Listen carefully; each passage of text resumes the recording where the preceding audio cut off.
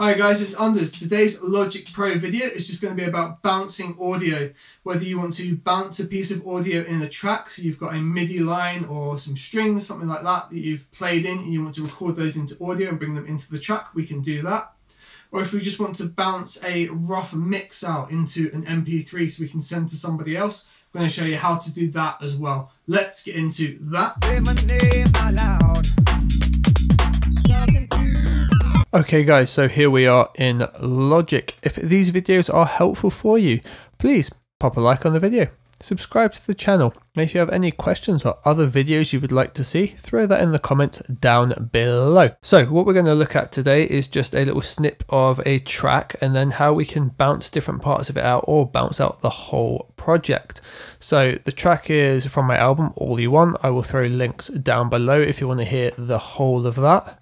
And it's just this.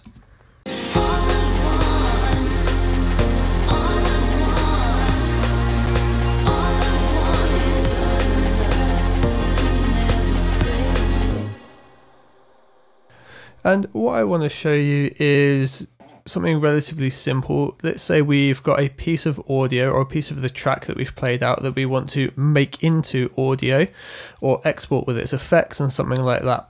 So for example, if we take the keys channel here that I have selected, which is just this,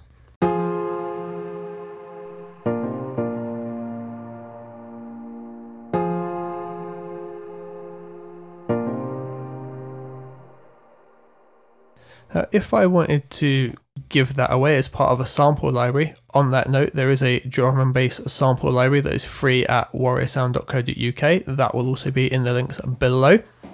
We could export that piece of audio so it's able to go to someone else. Because if I was just to send this MIDI out to someone, for example, they're not going to have that same result. They need the actual piece of audio to then work with.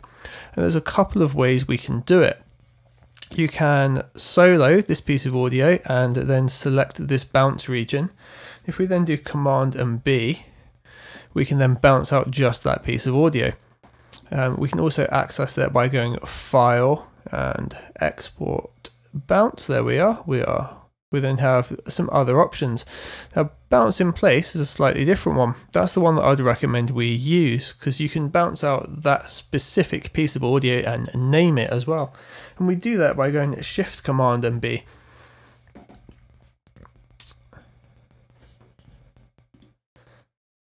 we do that by going Control Command and B.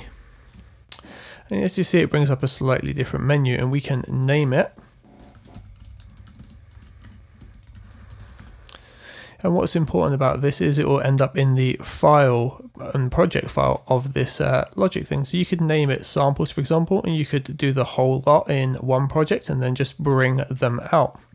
So we're going to do it onto new track because we don't want to replace the MIDI and we don't want to bypass the effects. We want to keep this sound we've got and we're going to include volume and pan automation if there is any.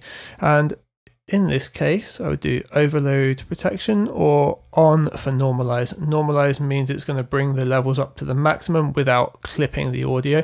And that gives us a good consistent sound level when we're doing samples. So if we now OK that, and you can see now that we've got an audio track for all of those elements within that particular thing.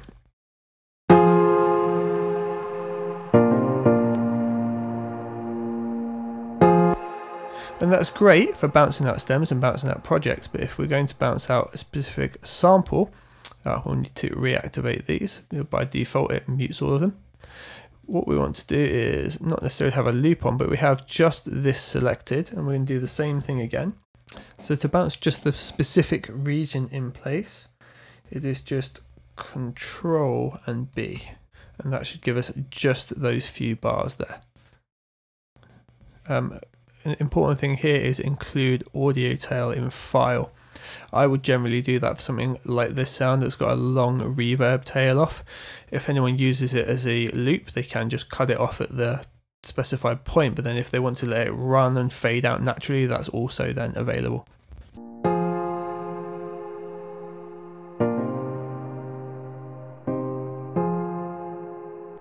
And that gives us just those specific bars that we've selected there.